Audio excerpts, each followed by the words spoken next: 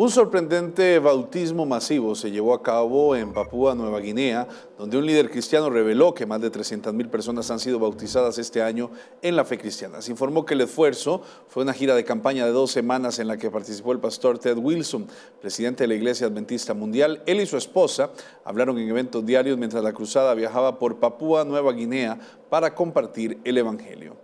El pastor Miller Cuso, director del Ministerio Personal de la Unión Misión de Papúa Nueva Guinea, supervisó 2.000 sitios donde se llevaron a cabo eventos en todo el país, incluso en algunas áreas remotas.